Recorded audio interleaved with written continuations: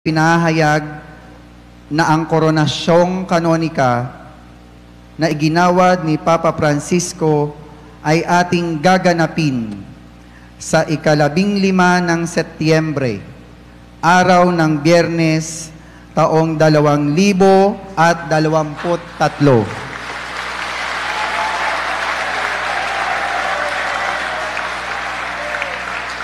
Ang banal na larawang natagpuan sa lawa ng Laguna ay siyang puputungan ng mamahaling hiyas na kaloob ng mga mananampalataya sa loob ng Misa Pontifical sa ganap na ikasampu ng umaga.